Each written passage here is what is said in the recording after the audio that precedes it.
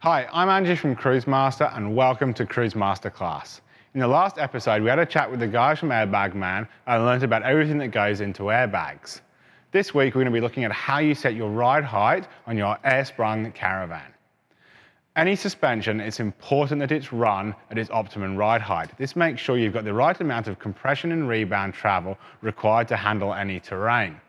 So when it comes to an air suspension, the, obviously the ride height changes depending on the amount of pressure you put into it and how much weight is on it. So we need to make sure that it's set correctly. On our control systems level one, level two, three and three wireless, this is a manual operation. On level four, it's all looked after by the um, automatic air control system. To set the ride height, there's two ways of doing it. On our XT, we measure between the bump stop and the underside of chassis, and we call that bump stop clearance. On our ATX, because it's a bit harder to measure the bump stop clearance, we're measuring the distance between the top and bottom mounts on the rebound cable. The measurements for those are in your owner's manual, so make sure you check those out. XT slightly differs depending on what weight rating of suspension you've got. So let's head onto the trailer now and I'll show you what it's all about. It's important that before we get underneath the trailer or caravan to set the ride height, that we've made sure it's secure, maybe the wheels are chocked and it's attached to a vehicle, and that we're on level ground. Because unless we're on level ground, we're not going to be able to make sure that the ride height is set correctly. All right, here we are under the trailer. On XT, like I said before, we're measuring bump stop clearance, so we're going to cut to that now just to show you what that is.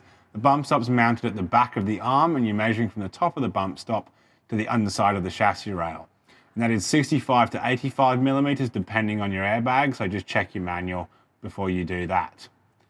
So, on ATX that we have here, we're looking at the distance between these two rear rebound cable mounts. So we get our tape measure out and we're sitting at about 300 there. So we need to put some air in it to lift it up because the target that we're aiming for is 360 millimeters. This is nice and easy because I've got the Cruisemaster wireless air control system. So I can jack it up here. Probably a bit more. Let's check that. Okay, that's about spot on within a couple of millimeters.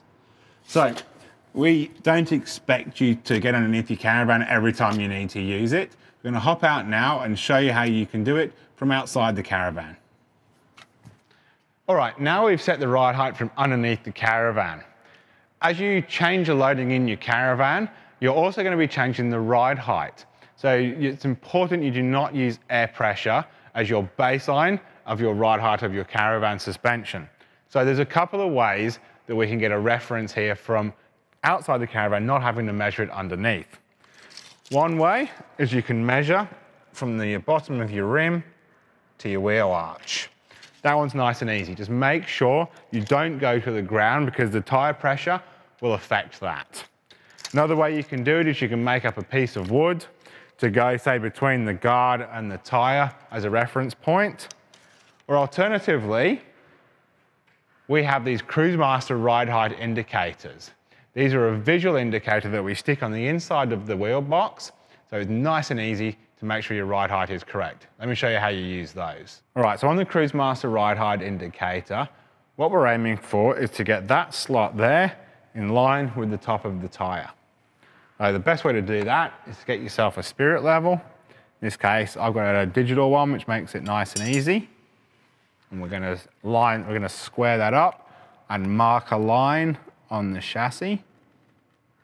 So it's about there. We'll just mark, mark the inside there of the wheel box. We want to line that up with the slot in our plate. On the plate, there's two ways you can attach it. They come fitted with 3M VHB tape, so you can simply stick it on. So peel the backing off. Or alternatively, if you want a bit more security, it's got a couple of holes on the front there that you can rivet or screw it in. Just make sure if you're attaching it like that, that there's no wiring behind the panel and you, and you go through it and make a mess. So we're gonna stick that on as level as we can.